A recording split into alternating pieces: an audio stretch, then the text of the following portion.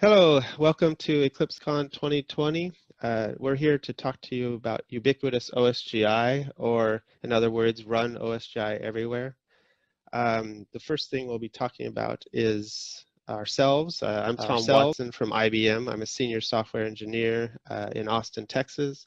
Been involved with open source since uh, the early 2000s, uh, starting with the Eclipse project, and then we also started up the Equinox project there.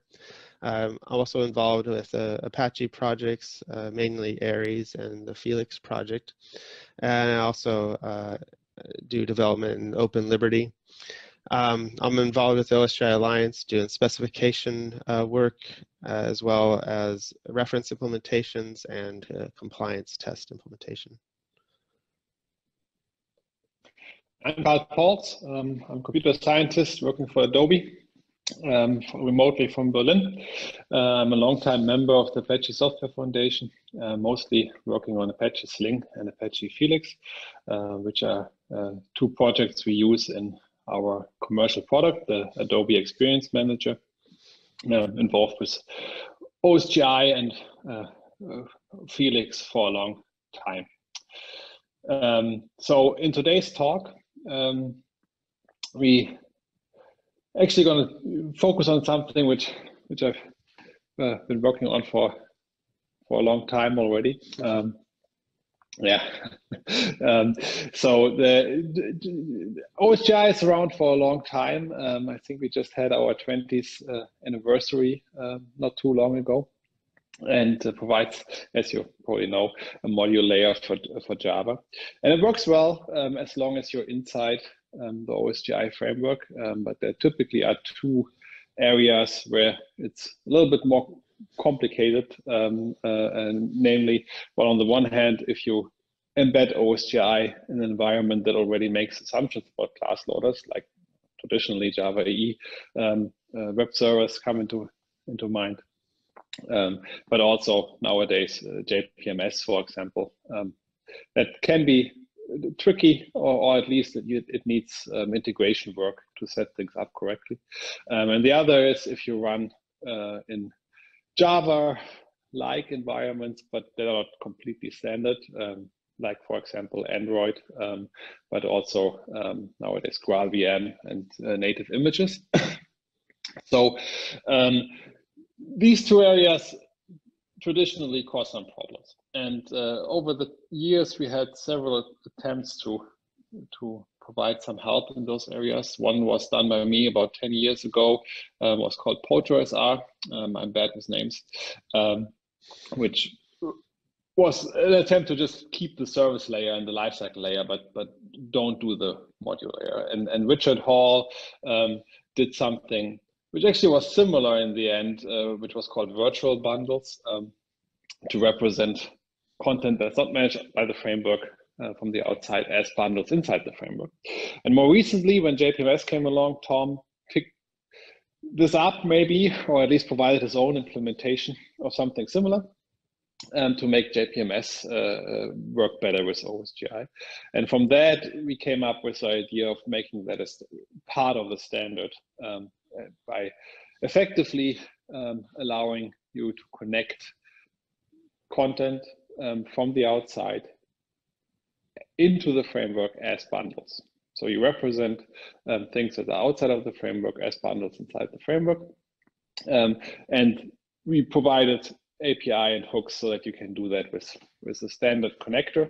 And uh, we have an implementation of that, um, which we will look at right now in a demo. And uh, Tom is going to show you how that helps you with, on different platforms. All right, so for this talk, we thought uh, it'd be interesting to start off uh, with demos like Karl was saying, uh, just to give you a taste of the, the actual um, technology, and then we'll go into the specifics of how uh, the technology works. So um, the one thing I wanted to mention first is this is all using the Atomos project and it's using the examples here. So in the Git repository, uh, we have an Atomos examples directory. You can go out and build all of these yourselves and play around with them uh, if you like. So the first thing I was going to start off with was something called uh, JLink. So it's in this Atomos examples JLink. Um, so this is all built already, and when you build one of these things, it creates uh, an Atomos uh, directory. This is where the JLink image gets built. For those that aren't familiar with JLink, it's just ba basically part of JPMS. You can take your modules, you run the JLink tool, it'll customize the VM and only give it uh, the modules that are required by your modules, and then it'll create uh, custom, uh, basically, environment. So this has the uh, Atomos executable in it, and that'll launch up the the modules that you compiled into here, along with the the ones that are required from the JVM. So if you launch this up, it starts up the Felix GoGo console. Those that are familiar with uh, uh, OSGI are probably familiar with uh, the console. This is a set of bundles that are provided by Felix that gives you access to a console so you can introspect the running framework. And so here I just ran a command that lists the bundles. You'll notice, uh, so the, the system bundle is here just like normal. Here we're running with Equinox, a set of Atomos bundles. But the important thing you'll notice that you wouldn't notice normally is there's these Java modules. So Java base, Java logging, and so on.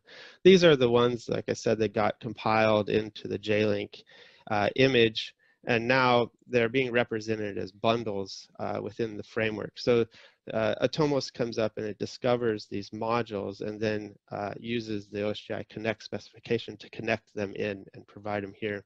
So you can do introspection on them. Uh, we can inspect the capability, OSGI wiring package for here we'll do three. Three is Java base. And you'll notice that it's exporting you know, all these packages, you know, Java Lang, Java NIO, so on, the ones that are coming from that Java base uh, module that's always included when you're running on Java 9 or higher.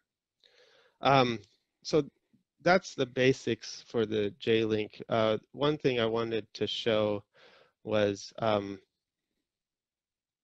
you can also run a Java command with just the the uh, module path modules, there's a directory in this target that, that includes all the modules that got compiled into the JLink image. And then this, the dash m specifies the module you want to run. So this is the module that got run when I ran that Atomos command. And if I run this, it brings up the same thing as you could probably predict, but um, there's many more bundles now. The other one had like 15 or 16. This one has uh, 54, and that's because it's loading up all the modules that are available uh, to the JVM. Here I'm running Java 11, so so this is basically the list of all those those modules.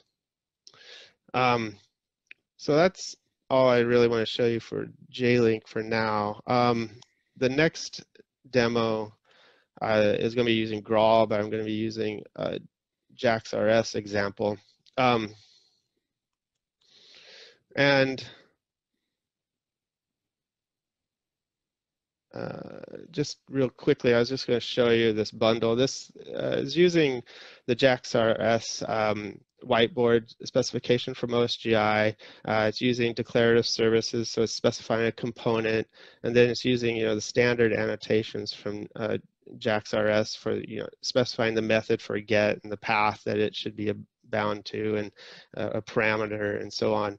Uh, but the interesting thing is it's getting injected const using constructor injection with this thing called a hello service. So this is just another component uh, you know, with, that can be activated and deactivated by OSGI, and it's providing this fairly simple method that gets called. Um, so when you compile and uh, this build this particular project, it's going to create the native image for Graal, and it puts it under this native image build uh, folder. And then if we can launch that guy, you'll notice it starts up pretty quickly, uh, something like 50 milliseconds. Um, and if we, we can have access to the Go console again, uh, you'll notice that we lo lo loading up um, stuff like the Geronimo JAX-RS, the HTTP whiteboard implementation, all the stuff that's required to run, you know, basically a JAX-RS runtime, uh, even an embedded version of Jetty. And all these bundles got compiled down into the Graal native image um, so that we could launch them and run them here. Um, so you could, we'll notice that, so if we hit this, you'll notice that yes, it does in fact work. And we can give it some other data. Um, and each one of those requests, you know, it goes out to the that service component and it's creating a new one uh, resource to, to handle that request and then disposing it after the request is done. That's the Graal one. Um, the final one I wanted to show is a, a class path variant, but um,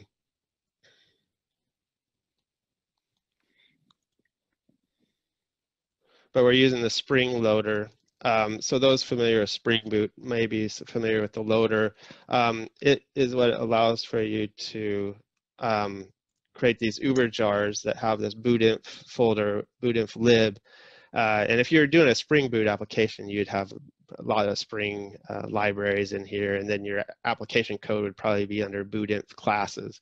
But in this example, I just reusing their their build infrastructure uh, plugins in order to include a set of bundles. So these are all just bundles that are included in the lib folder.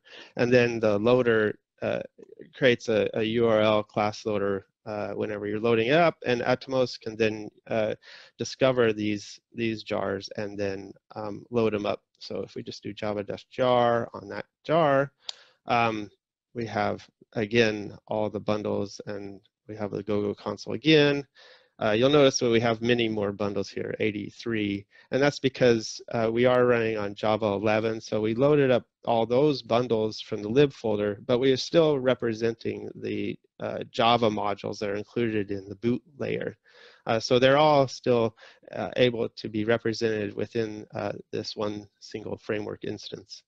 Um, this particular jar is running the Felix web console. So if it's just another view that lets you in, interrogate, you know, the running the running framework.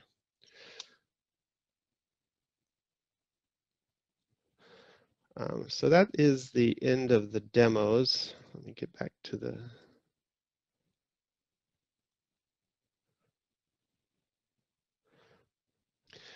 All right, now I'm going to go into the uh, Apache Felix uh, Atomos project and give a, a, little bit more details on that since we went through the um, the demos. So it's uh, hosted at the Apache Foundation within the Felix project. There's the GitHub repository, like I mentioned before. This contains the all the implementation, the tests, and uh, those examples that I was just uh, going through in the demos. Um, so the idea behind Atomos is that we want to enable these uh, other layers uh, above the module layer. So OSGI is more than just a module layer. Uh, the the OSGI module layer is quite powerful, provides for isolation, you know, similar to JPMS. I, I would say it's sort of a, a slight um, superset of what JPMS provides.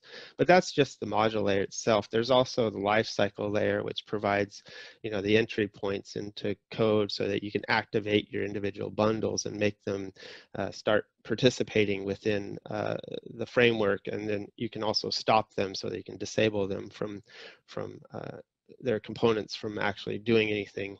Uh, and, and then the actual programming model that we encourage uh, developers to use is the service layer, and this is provides the common uh, collaboration space where different uh, things can can share. The bundles can share, you know, components with each other. They can publish services and so on and so forth. Um, but the, it's a common place where you can do things like use declarative services, which can provide uh, services, but then also integrate with CDI components, and those can also provide services, and they all can share through this common layer.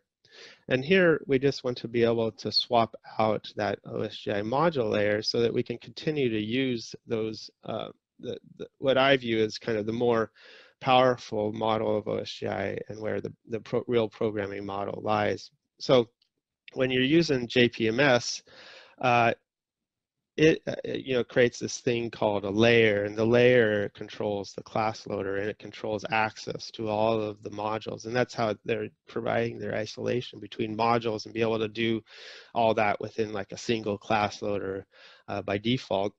And when you're running with Atomos, we are able to interrogate that layer and discover all the modules and then look at the, all the individual modules, figure out which ones are bundles, they have bundle metadata, and which ones don't, and then those ones we can generate OSGI metadata and then represent them as bundles uh, connected in the framework. So that's how in the demos, it, Atomos was showing those JRE boot model modules represented as bundles. Um, Atomos also supports what we call the flat class path. That was like the, the Spring Boot example I showed you, but you could also just do like a dash CP from the Java command line and list all your bundles there.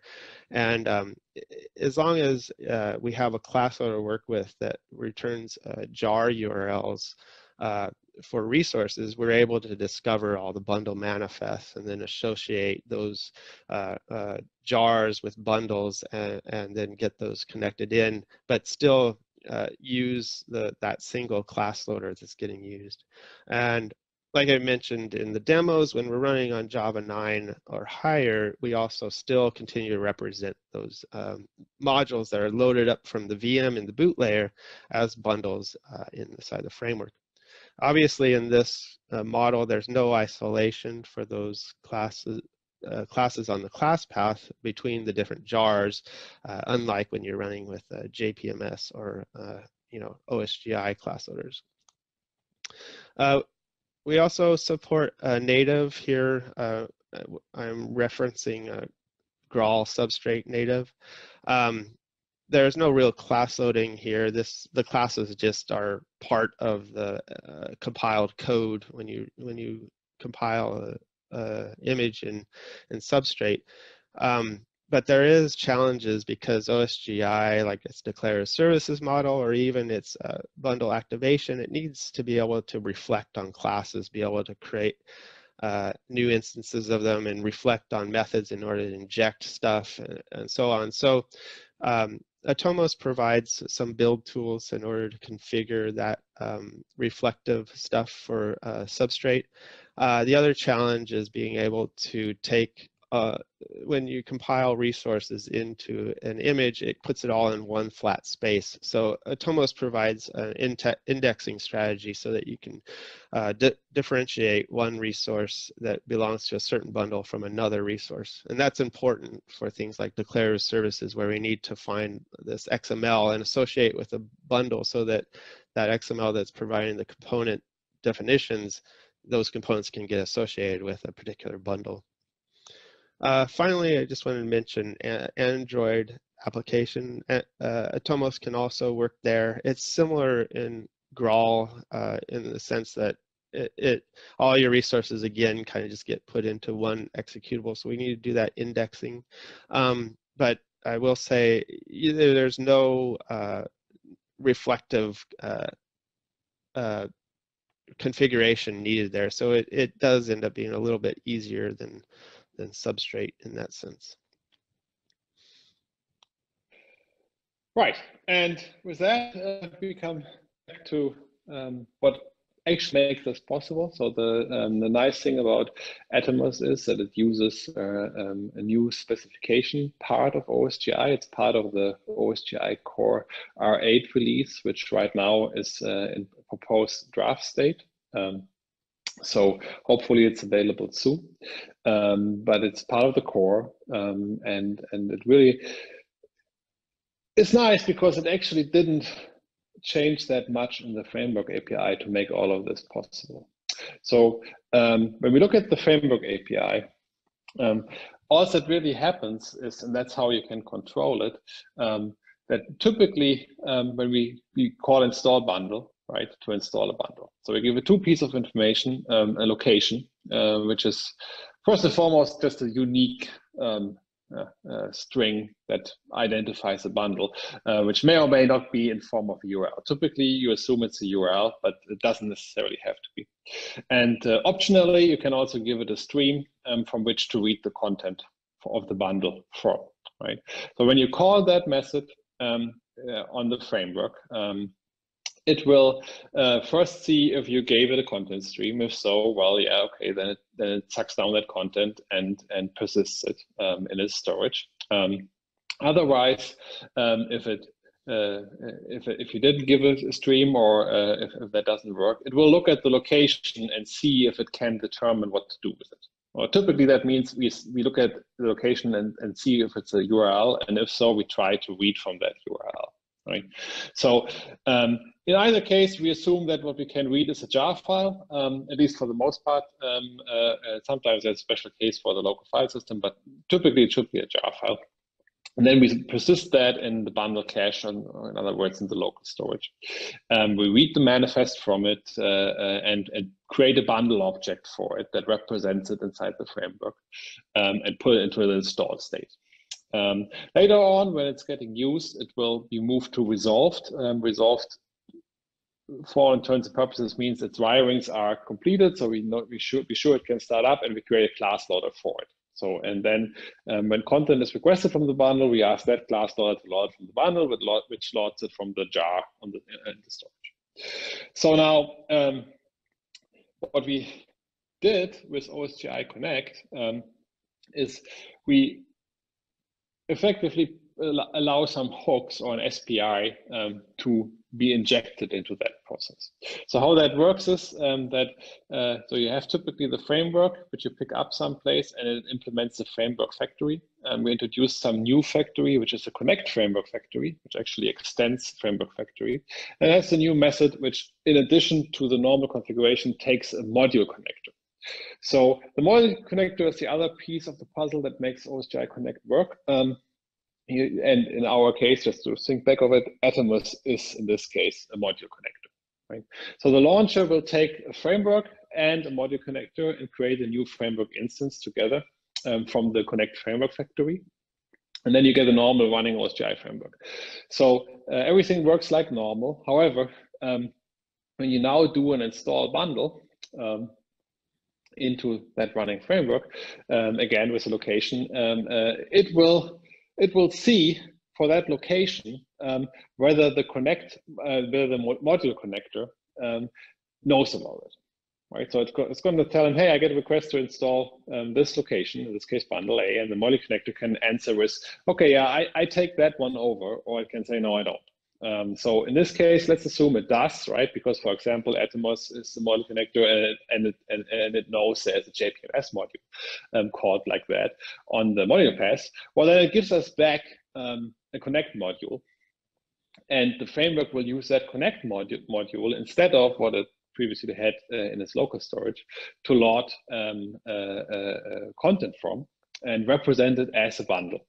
Uh, we get the manifest from the Connect module, we get the content from the Connect module, and we represent it as a normal bundle, but actually it's coming from the outside. And then later on, when it's going to be we, we move to resolve state and all the wiring stuff typically still happens, um, we also ask for a class loader from the Connect module. So in assuming it has one, um, uh, uh, we start using that class loader instead of the one that we typically would create ourselves inside the framework. So, and that pretty much is it from the spec pers uh, perspective. There's a little bit of extra um, things here and there that, that, that need to be done to, to make the magic happen. But uh, the core really is just that. So for you as a user from a um, management agent point of view, actually nothing changes. Uh, you can still work with opaque uh, uh string locations. And uh, from the implementation perspective, all you need is a module connector that does what you want and recognize what you want. So we have Atomos now in Felix, um, which sort of is, you know, it's not the standard, but but it's it's, it's hopefully something that that will cater to most situations. Again, it supports uh, JPMS, it supports flat class paths, it supports Android, um, and it supports native images right now, right? But it's also the module connector itself is a very thin interface uh, as well. So um, we had cases where people were able to, you know, implement something themselves um, within not too much time. So if you have a special case, you can implement it with a module connector yourself. But if you have a standard case, yeah, you probably um, can take Atomos directly um, to make it work. And it all blends in very well with, with the normal framework operations. And again, if the module connector doesn't recognize the URL or location that it gets, well, then the normal stuff happens, right? So it's still possible to install a bundle in, into this running framework just like normal and it will interact with the rest of the bundles. So it really gives you um, a nice blend of the two worlds and just allows you to connect um, some stuff from the outside into the framework. Um, so yeah, that's pretty much what we wanted to show today. Um, thank you for your attention. Yeah. yeah thank you. And we're gonna yeah we're gonna stay around for a little longer to answer questions if you have any. And um, yeah, uh, don't forget to vote. All right, thank you.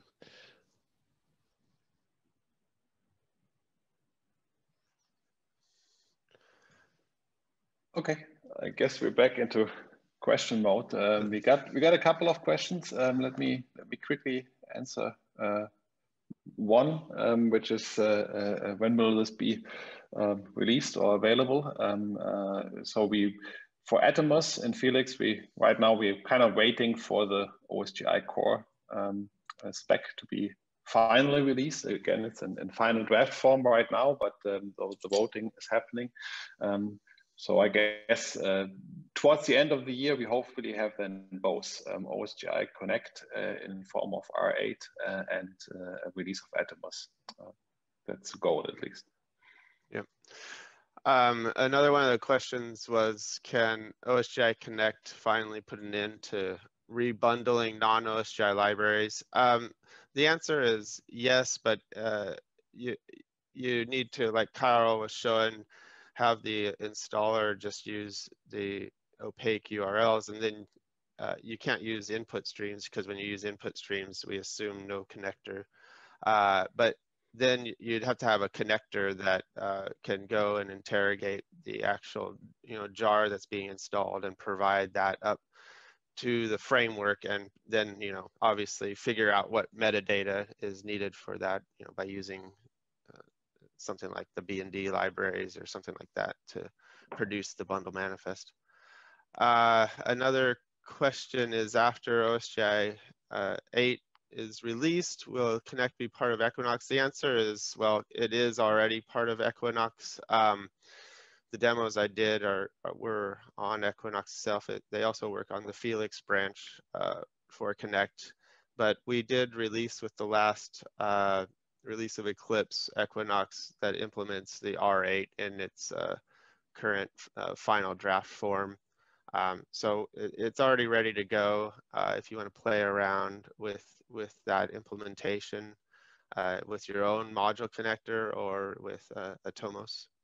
Um, I thought there was some other questions. Um, well, I, I guess question. we have in the Atomos project, if you look, we have we have both uh, uh, already pre-built, right? We have a Felix version. Yeah, and, and it, it does both uh, Felix and um, and Equinox. It seems that we're at the end of the session. The other question was uh, compiling Eclipse to native. Uh, possibly, I haven't done it, but uh, I, I, know SWT. I thought I saw somebody be able to compile small SWT apps down, uh, but the um, the the all the rest of the stuff. There's a lot of bundles there that it would it would be uh, quite a bit of work to do it. But thanks for everybody for joining. Yes. I think we probably Thank are you. cut off by now. Bye. Bye.